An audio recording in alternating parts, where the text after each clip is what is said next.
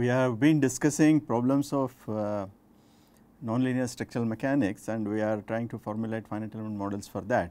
With that in mind we have reviewed the basic principles of uh, continuum mechanics.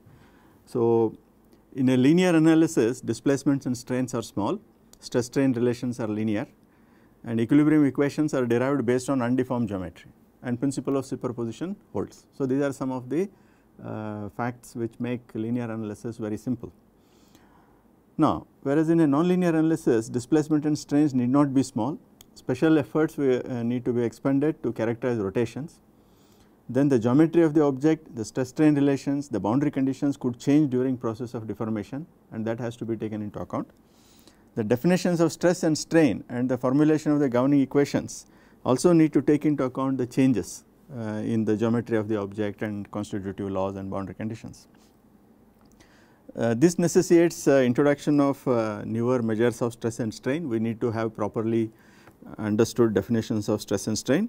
Then principle of superposition which is the bread and butter of uh, linear analysis no longer holds. So, if there are multiple loads that act on the structure uh, you cannot perform uh, separate analysis and try to superpose. For example, in an earthquake response analysis the self weight effect and the response due to earthquake loads cannot be analyzed separately you need to handle them together.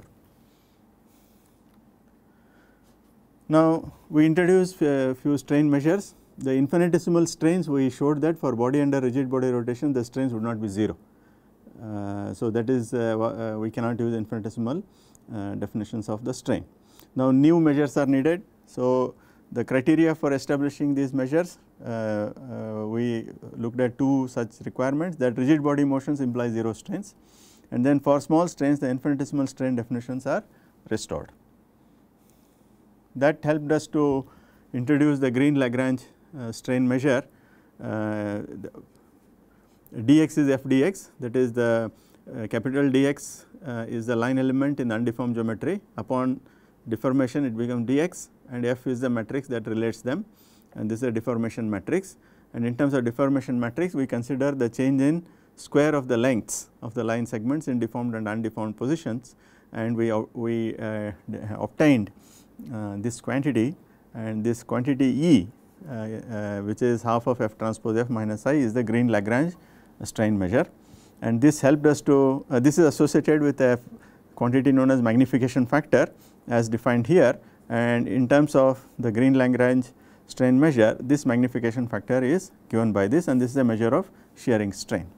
So, if a line element uh, with uh, direction cosines n1, n2, n3 uh, deforms um, and it, it, still it undergoes a change in length and this magnification factor is expressed in terms of elements of Green Lagrange tensors. So, if the direction if the line segment is aligned with x axis the magnification factor will be E11 if it is aligned along uh, y axis it will be E22 and so on and so forth. Similarly, the shear strain measures if one of the line segment is along aligned to x axis and other one aligned to y axis then gamma AB gives the shearing strain um, which is epsilon uh, xx and so on and so forth. So, we also introduced this is this definition was with respect to the undeformed geometry with respect to the deformed geometry uh, we get another strain measure known as Eulerian strain or Almansi-Hamel strain and this is uh, as shown here.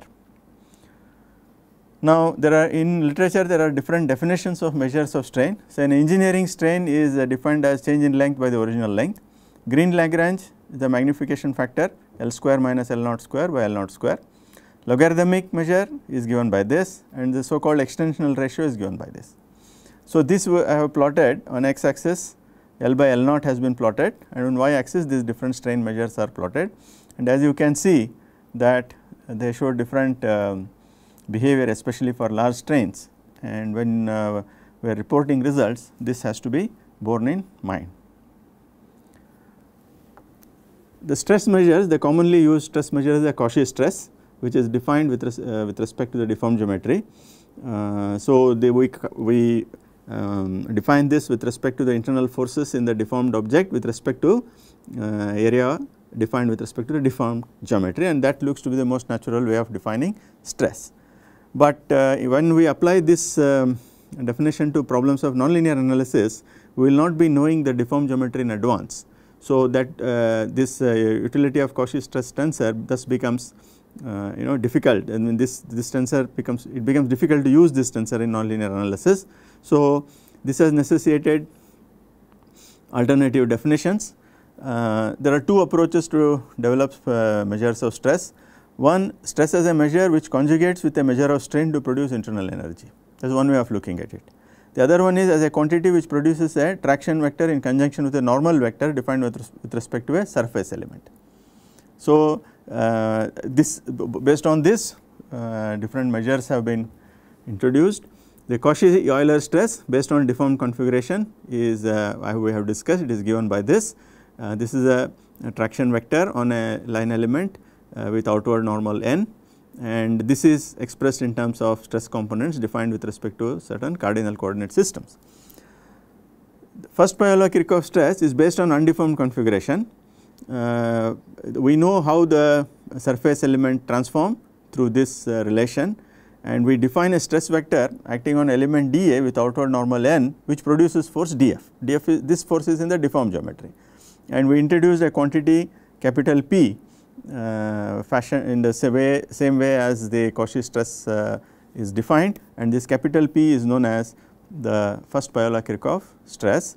And we have seen that this is not symmetric it has 9 independent components. The second Euler-Kirchhoff stress is, uh, eliminates this uh, awkwardness in the stress uh, uh, matrix it produces a symmetric matrix it is based on undeformed configuration we introduce a pseudo force vector dp uh, hat which is f inverse df. Uh, this again this transformation is based uh, fashioned after the transformation of you know dx equal to f dx for line elements. So, Uh, based on this we introduce the second Euler-Kirchhoff stress tensor and we also uh, we saw that this is symmetric and uh, we also established how these three stress measures are related to each other.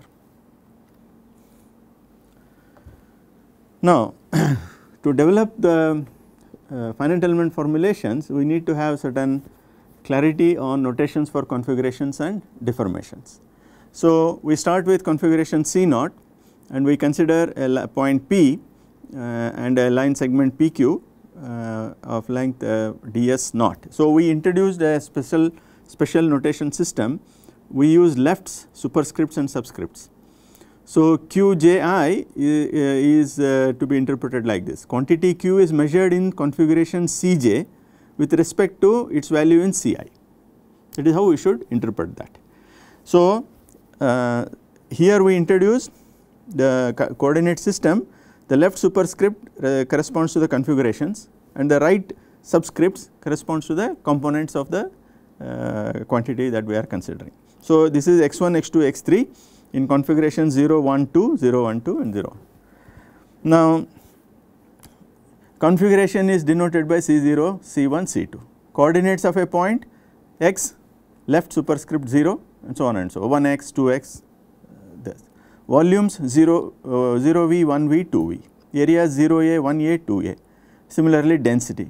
Total displacement 0u, 1u, 2u. So, the this is configuration C0, this is some intermediate configuration C1 and this is the current configuration. So, this U is the uh, incremental displacement from C1 to C2. Okay. Now, the discussion that I am going to present uh, and the notational system that we, we are going to use is uh, based on the material available in uh, two books. One is by Professor J. N. Reddy an introduction to nonlinear finite element analysis and the other one is by K. J. Bathe finite element procedures. Now the material that I am going to uh, use in this lecture is uh, largely based on the coverage given in the book by Professor J. N. Reddy. The idea here in this lecture is not to develop uh, the complete procedure for nonlinear finite element analysis, but instead to give a flavor of how to what are the issues that one must be aware of in formulating such problems. The detailed formulation of uh, finite elements and their application in specific problems etc., are not covered in this lecture.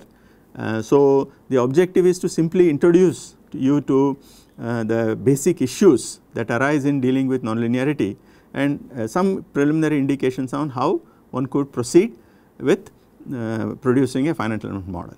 Okay. So, there are a lot more details that I will not be able to touch upon, but hopefully this gives you uh, necessary motivation to study this topic further.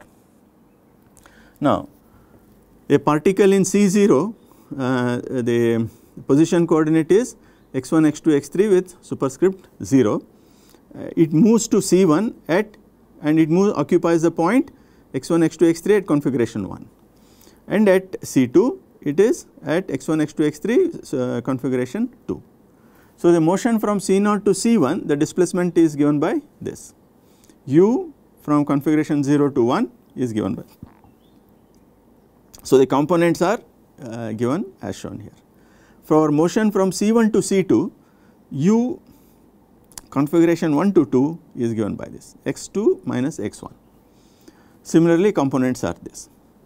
Now, the law of conservation of mass demands that the mass of the uh, object in different configuration should be the same. So, if I have now in second configuration uh, integral over 2 v of 2 rho uh, must be equal to integral of um, 1 rho over d 1 v and that must be equal to uh, this uh, volume is 1 v and this is 0 v that you should notice and this is in the undeformed or reference configuration. Now, you must be careful in interpreting this quantity it is not d square v it is d of 2 v because we are using left sup, sup, uh, sorry superscripts and subscripts it should not be confused with uh, powers for the preceding quantity.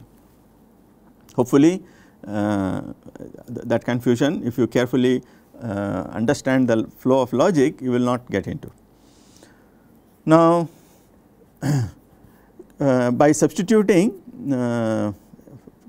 for x2i in terms of x0i we can show that the uh, law of conservation of mass uh, leads to this requirement between configuration 0 and 2. So, this um, that would mean this 0 2 Jacobian is given by this determinant and we have this relation between densities at various configurations. Okay. This uh, if this is satisfied the law of conservation of mass is obeyed. Now, let us look at strain tensors for C1 and C2 configurations. The Green Lagrange uh, strain tensor we have derived this uh, for configuration from 0 to 1 is given by this. From 0 to 2 it is given by this. If you look at incremental strain tensor that is defined like this, it is uh, change in square um, length of the line element in configuration 2 to 1. Okay. So, we are uh, this is an increment incremental deformation from C1 to C2. The idea is that as we apply the surface traction and body forces uh, for each increment of the force the body occupies different configurations and we, we will while solving the problem we will divide the applied loads into uh, small uh, increments and the increment from say C1 to C2 is affected by a small increment in the load we can linearize the relations uh, when moving from C1 to C2 that is the idea okay. So, that you should keep in mind. now, this uh, incremental uh, Green Lagrange strain tensor is given by this and we can you define this with respect to the um, ds in the original configuration I am adding and subtracting that and this enables me to write this in terms of the Green Lagrange tensor from configuration 0 to 2 and 0 to 1 and this by rearranging the terms I uh, define these quantities uh, Eij, eta ij. Uh, these are linear parts of the incremental strain tensor and the nonlinear parts respectively. So, this is given by this. So, if you uh, so use the definitions of uh, Green Lagrange tensor capital E's, uh, you will be able to show that the linear increment in ui, uh, the strain due to linear increment in ui is given by this and this is nonlinear increment in ui. So, these are incremental Green Lagrange tensors. This we will be needing in our formulation. Then the updated Green Lagrange tensor uh, you see that the Green Lagrange tensor from configuration 0 to 2 is helpful in total Lagrangian formulations where we refer uh, I mean formulate the problem with respect to quantities in the undeformed configuration. to facilitate updated Lagrangian formulation uh, we introduce another quantity. Uh, this is uh, 2 epsilon ij see this is epsilon ij with respect to 0 but here for the increment from 1 to 2 I introduce this definition. And uh, again using the following uh, uh, results again using the deformation matrix for from movement deformation from 1 to 2 we get all this and we get the increments the linear part and the nonlinear part as shown here.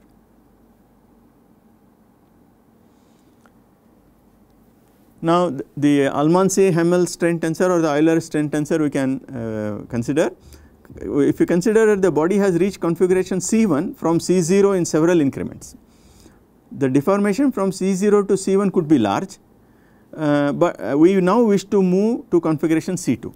The increment from C1 to C2 is taken to be small and we could refer to strains with respect to C2. So, that means we are looking at current configuration as in the Euler uh, definition of Euler strain, but we are movement is from C1 to C2 and not from C0 to C2. So, with that certain simplifications become possible and we will be able to introduce what are known as Euler strains this is epsilon 2 to ij. So, the, the same configuration both current and reference configurations are the same therefore, this is Euler strain tensor.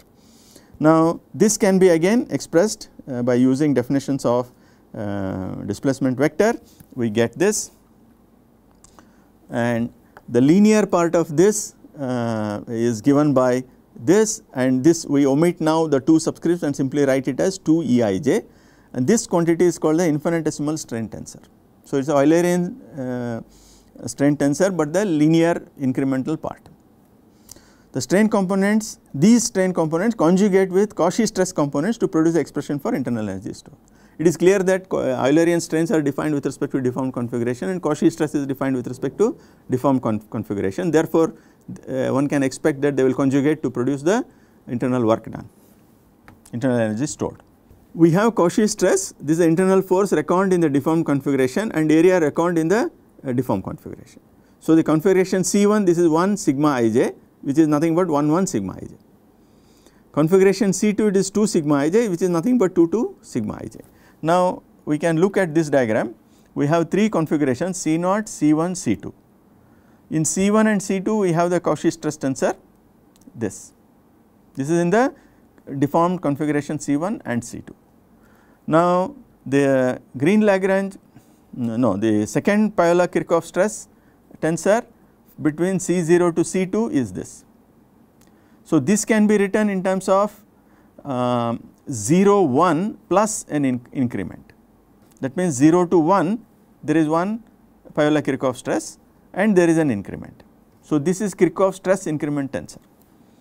On the other hand, uh, I can move from C naught to C1 that is this, this is the second Piola uh, Kirchhoff stress from 0 to 1 and similarly I get uh, Sij from 1 to 2. This Sij 1 to 2 I can write in terms of the Cauchy stress plus an increment. Uh, this increment is with respect to the second Piola Kirchhoff stress whereas this increment is due to uh, is based on the uh, Cauchy stress and this is known as updated Kirchhoff stress. So, we have Kirchhoff stress increment tensor and updated Kirchhoff stress. Uh, so, that becomes important uh, in our uh, discussions. In the second Piola Kirchhoff uh, stress tensor force in C2 is transformed to C0 and area is reckoned in C0. So, this is the relation we get between the Piola Kirchhoff stress and the, the displacement gradient and the normal. Then updated Kirchhoff stress tensor it is useful in updated Lagrangian formulation. Consider the point in uh, P uh, x1 x2 x3 in C1 the Cauchy stress tensor at P1 C1 is this, this, and this is what I am trying to define and uh, here we have summarized. So, this is the Piola-Kirchhoff from 1 to 2 in terms of Cauchy stress plus an increment. This is Piola-Kirchhoff from 0 to 2 in terms of the Piola-Kirchhoff at uh, configuration 1 plus an increment. So, this is the uh, Cauchy stress in the second configuration and we know these relations I am simply uh, putting it in the initial notation. So, this is the relationship between Cauchy stress and the second Piola Kirchhoff stress and this is the relationship between the second Piola Kirchhoff stress and the Cauchy stress. Now since we uh, conservation of mass we have seen that this relation must hold good we can also express these relations we can instead of writing the Jacobian I can write the ratios of masses and I get this relation this is same as this except that Jacobian is written in terms of ratios of masses. now what is relationship between Cauchy stress in C2 and updated Kirchhoff stress. So that means I want now 2 sigma ij in terms of updated Kirchhoff stress. So that uh, if we consider now the second uh, Piola Kirchhoff from 1 to 2 this is given by this as you have seen and this is the relationship between uh, the Cauchy stress in the second configuration with the uh, S from 1 to 2. Now this uh, pK2 stress in different configurations uh, we can write by using this relation explicitly uh, just for reference I have given. Then relations between incremental stresses. So Sij 0 uh, and S1 PQ uh, I mean this is how it is related. So this and this how they are related is what I am explaining. I mean these are fairly simple if you observe I mean sit with a pen and paper you can easily understand but all these relations would be needed as we proceed. Now for the discussion in this lecture we are uh, limiting our attention to linear relations between conjugate stress strain pairs. Uh, material behavior is elastic that means constitutive behavior is function of current state of deformation and loading unloading path will be identical upon removal of the load the original configuration will be restored. Then relationship between Piola-Kirchhoff stress and Green-Lagrange strain is defined through this quantityCijkl where C is the material elasticity tensor. The stress strain relations in an incremental form we can write in terms of this. This is the uh, Kirchhoff stress increment tensor and epsilon KL uh, this is the incremental strain and this is the uh, C matrix. Similarly, updated Kirchhoff stress increment and Green Lagrange strain increment uh, can be related through this relation. Now, C in different configurations uh, can be written in this form. Uh, this is C in first configuration related to zeroth configuration. This is uh, one, the other way, the relation other way. Now, the formulation of finite element in this uh, case will be based on principle of virtual displacements. What it says is sum of virtual external work done on a body and the virtual work stored in the body should be 0. So, if you consider configuration C2 uh, the virtual work is the Cauchy stress into the Euler strain virtual Euler strain uh, integrated over the volume in the second uh, configuration and uh, this is the uh, contribution uh, due to virtual from virtual displacement from the surface this is body forces this is surface traction. Now this in the indicial notation it is given in this form. Now we cannot use this equation directly see if you see here we have used the Cauchy stress and the Eulerian strain that means both of them correspond to the deformed configuration so it looks nice. But as I already said the definition of the configuration C2 would not be known so, we cannot use this equation directly. So, the configuration keeps changing in the as the deformation evolves, uh, uh, but in a linear analysis you can quickly recall we in the assumption made in the linear analysis that the configuration of the body does not change so that the so that the equations can be formulated based on undeformed geometry is not valid in nonlinear analysis. This calls for introduction of measures of stress and strain which take into account changes in configuration during deformation. This point I have been uh, making a couple of times already, have made up this point couple of times already. This enables the evaluation of integrals in the expression for the internal work done over known configuration. By introducing the uh, alternative measures of stress and strain, what we will be doing is we will be able to evaluate these integrals with respect to volumes in known configurations. So, that is the uh, uh, you know another way of uh, expressing the need for alternative definitions of stress and strain. So, in our lecture we will use stress is the second Piola-Kirchhoff stress tensor and the strain is the Green-Lagrange strain tensor. They are the conjugate in, in the sense that they produce the internal work done. This I have mentioned in the previous uh, one of the previous lecture. In the total Lagrangian formulation, the base and reference co configuration coincide and is taken to remain fixed and uh, this is the current configuration, but all equations are formulated with respect to the uh, reference configuration. Whereas in updated Lagrangian approach, uh, the reference configuration is updated with each increment in the load uh, and uh, we analyze the incremental displacements with respect to a uh, reference state that keeps evolving as the loads are incremented. So, let us take a look at the total Lagrangian approach. So, here all quantities are reckoned with respect to undeformed configuration.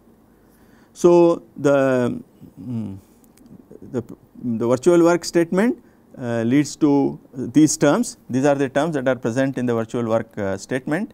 Uh, if you see here, we have to analyze each one of them now. Uh, so, this is the um, uh, Cauchy stress into the virtual uh, Eulerian strain and now this is second Piola-Kirchhoff stress and the virtual Green-Lagrange strain.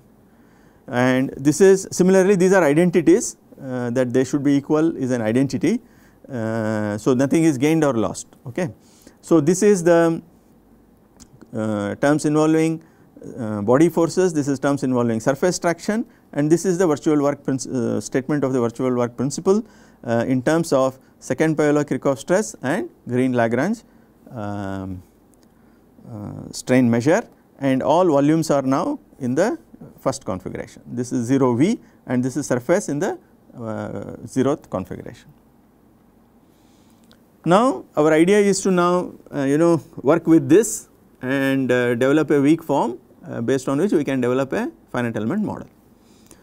Now, uh, as I already said uh, we are going to take an incremental loading approach. So, uh, as the load is incremented by a small amount we wish to deal with linearized um, stress strain relations and to do to formulate that we have to get into many details. So, the we, in this approach we will not formulate a nonlinear set of equations and then develop an uh, independent uh, solution strategy.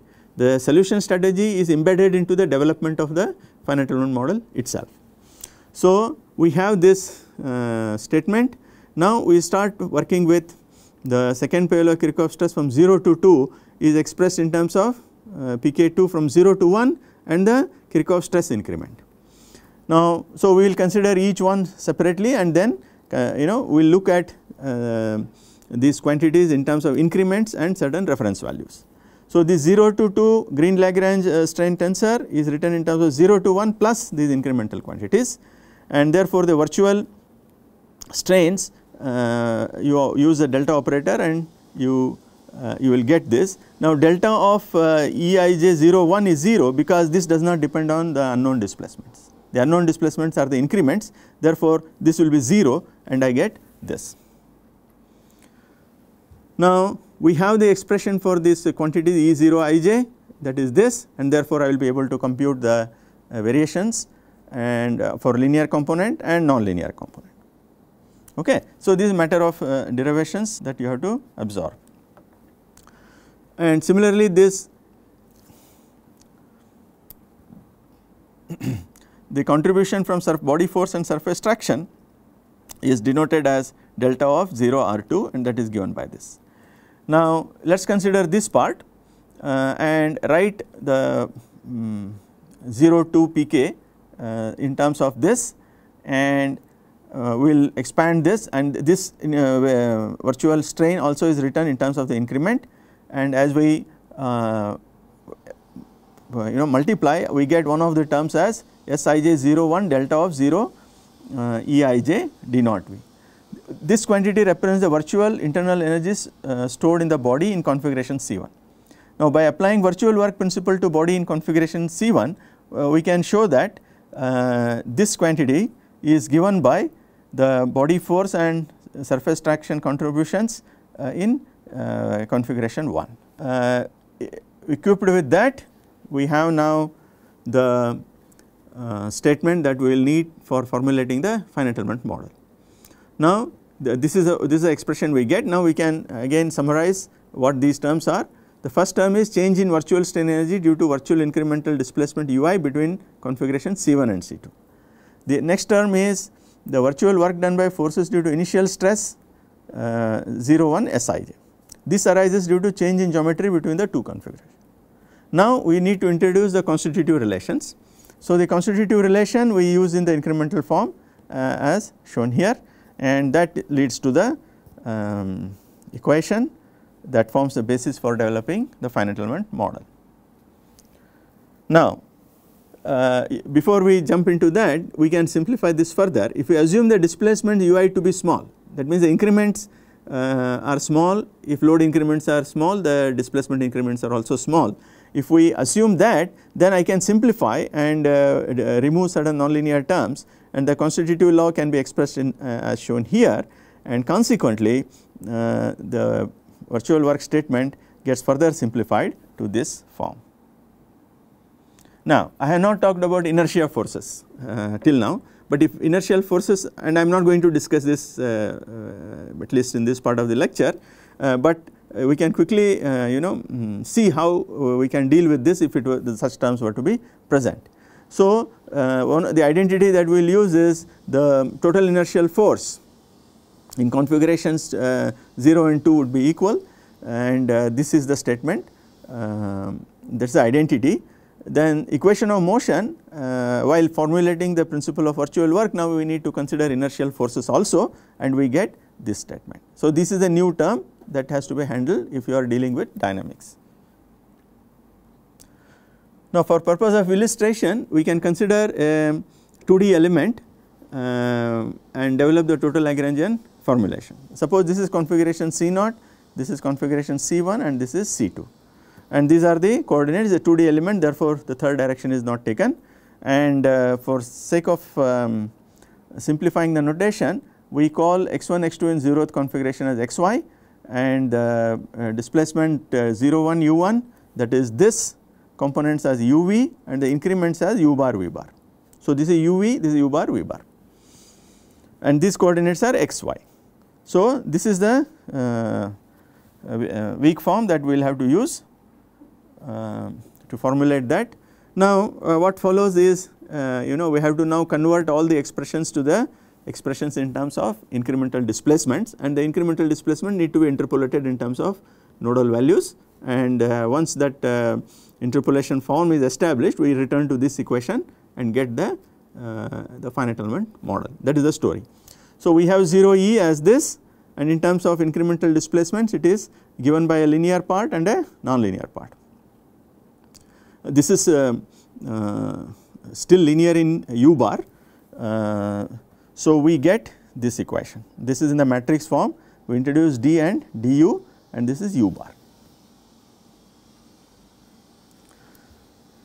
So this is the relationship between strain and the displacements and now if I substitute that into the uh, terms in the virtual work statement we can simplify the first term in terms of this representation and we get uh, uh, this term simplifies to this where this matrix is the um, elastic C matrix that relates stress and strain we are assuming in this formulation that it is a, an orthotropically elastic material.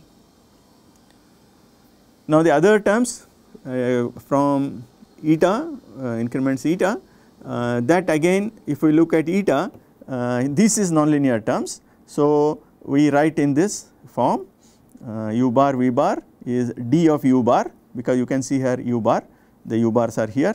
Uh, this is nonlinear. And the variation is obtained in this form. So, this is the uh, you know uh, written in this form where uh, we introduce certain notations uh, as shown here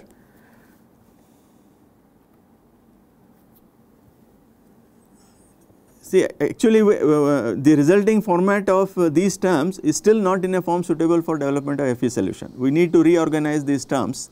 Uh, so that requires certain you know introduction of certain vectors and we write the stress matrix uh, in terms of a vector like this and uh, the these coefficients in this uh, form and we multiply them out and if we do that we will be able to get um, the expressions in this form uh, some of these details you need to uh, you know absorb. Um, once you are done with this we are now ready to launch the FE formulations.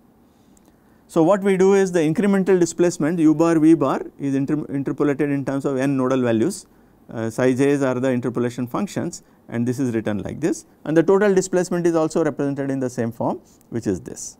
So, I have psi capital psi matrix and uh, delta bar vector and delta vector as shown here and then we get into the uh, principle of virtual work statement and we consider each term and make these substitutions and then uh, assemble all of them and obtain the final finite element equation. So, we start with this. So, uh, we have now already derived the uh, terms uh, this delta delta E naught in terms of u bar as here and that we are using here and here I am now making the uh, substitution for u bar in terms of the assumed shape functions. That is this. And we you know introduce a matrix BL which is d plus du into psi. Similarly, the other terms we simplify and we get uh, BNL and so on and so forth. And um, body force and surface traction terms are also simplified. Uh, in the same vein and that leads to this is the weak form and this is the finite element equation. The KL is this, KNL is this and these are the forcing terms. Uh, you can you know spend some time and go through that. Uh, some of the observation that we can make is that this K matrix is symmetric. This is because these matrices are symmetric. The material uh, constitutive matrix is symmetric and this um, S01 is also symmetric. And also as already said this is an incremental formulation. So, the stiffness matrix here is the tangent stiffness matrix. That means we already that linearization is implied in our formulation. Okay. So, uh, but however we can still note that if we were to do out and out a linear analysis uh, this delta bar will be simply delta and this quantity will be 0 and KNL will be 0. So, this reduces to the linear stiffness matrix if we are not including nonlinear behavior. So, uh, we can go through the details of these formulations and derive the expressions for different components of these B matrices uh, as shown here and uh, we can proceed and you know uh, write these equations in a way that the elements of these matrices can be evaluated. So, I am not going to get into these details, uh, I will um, I will stop the discussion on total Lagrangian with this. We can quickly take a look at this updated Lagrangian approach. Now, here all quantities are reckoned with respect to the latest known configuration that is C1. So, uh, the identities are now uh, the Cauchy stress in configuration 2 and uh, the Eulerian uh, stress strains uh, they are related the increments these are related through this and this is the relation for body force this is relation for surface traction. So, here this epsilon ij 1 to 2 is updated Green Lagrange tensor this F1 to Fi is a body force referred to in C1 this is surface traction referred to in C1. So, uh, we can now uh, rewrite the virtual work statement in this form and now using the definitions of the strains we can derive the virtual strains uh, for linear and nonlinear parts and uh, the Piola-Kirchhoff stress from 1 to 2 is decomposed into Cauchy stress in configuration 1 plus updated Kirchhoff stress. So, that if we substitute and simplify uh, we get the uh, the we are aiming at getting the weak form appropriate for this uh, model. So, um, so this is the uh, weak form. Now we are going to uh, use the virtual strain expressions um, and if we consider the equilibrium of body in C1 uh, this is the uh, principle of virtual work applied to that.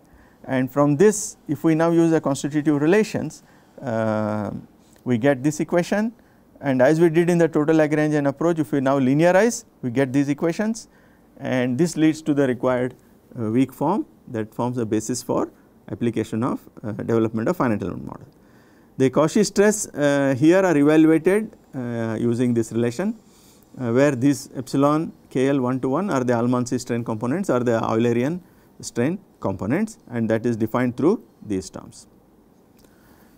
Now, uh, I, I, have not given all the steps, but we can use updated Lagrangian formulation and uh, derive the uh, finite element model for the 2D element uh, uh, based on uh, the procedure that we used for total Lagrangian except now that you have to take care of the fact that we are dealing with um, all quantities in configuration 1 instead of 0.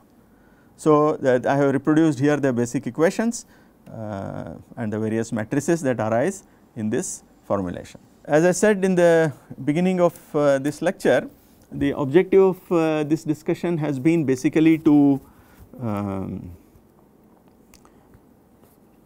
provide a flavor of how to carry out nonlinear analysis, what issues arise as geometry of the body changes during deformation, uh, why we need to introduce newer definitions of stresses and strains and consequently uh, what is the role played by these newer, newer definitions in the formulation of the FE model. Now with this the uh, we have come to the uh, conclusion of this course.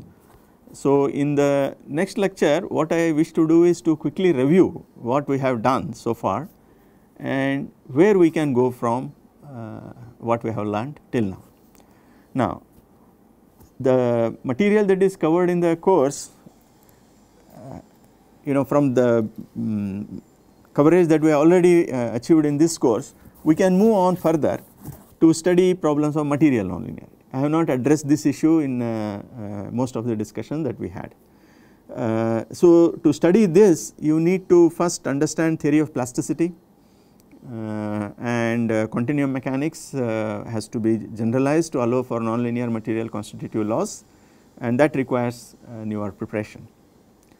Now in our discussion of stability analysis uh, again we have included uh, uh, geometric nonlinearity alright, but there are different layers of sophistication that is possible in carrying out stability analysis. Um, we could deal with um, the modified definitions of stresses and strains and the updated Lagrangian, total Lagrangian approaches and investigate the problem of stability once again and see what, did, what we did earlier without aware, uh, being aware of all these refinements, what was that we achieved that can be re-examined. Now in the problems of stability analysis what would happen if we consider material nonlinearity that is one issue that we have not uh, taken uh, into account. There is uh, another uh, uh, topic what is known as hybrid testing. in recent years the sophistication in experimental hardware and computing have led to newer testing procedures in a laboratory uh, they are known as hybrid testing procedures. This hybrid the word hybrid here connotes uh, uh, indicates the combined use of computational and experimental methods. So uh, there are methods especially in earthquake engineering these methods are uh, being developed.